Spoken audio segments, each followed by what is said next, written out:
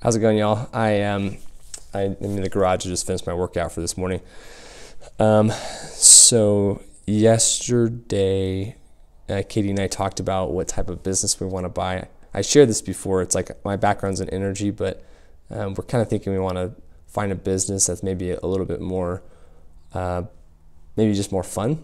And we came up, we brainstormed three industries to focus on, and one of them is like adventure, some type of adventure component, whether that's, you know, like actual um, adventure outfitter company, like a, like, you know, excursions, th- different things like that. Maybe it's like an adventure product, like um, great apparel or backpack or some kind of gear for adventure or something like that.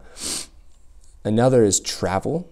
And so, um, you know, purchasing a company that ha- is kind of around travel, maybe, again, I don't know if it's equipment like luggage or um, like travel accessories, all the way to a business that might be like, um, like a travel agency or um, I don't really know. Like we're kind of learning about this subset. So those are like two categories, and the third one is something with food, and I don't yet know what that looks like because like we we don't really believe in processed food.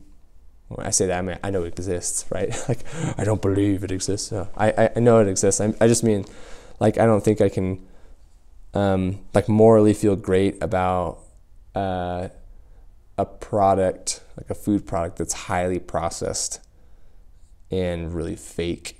And so, uh, but there are some packaged foods that are processed, but not, but very lightly so, and it's very natural type foods. Anyway, it's like real food. So like when I say the food industry, like we we would like to be in something that's like real food. Maybe it's a like a farm, like an organic dairy, or um, maybe it's a distribution company that is focused on like whole foods and things and um, like maybe it's a Whole Foods grocery store. I don't know.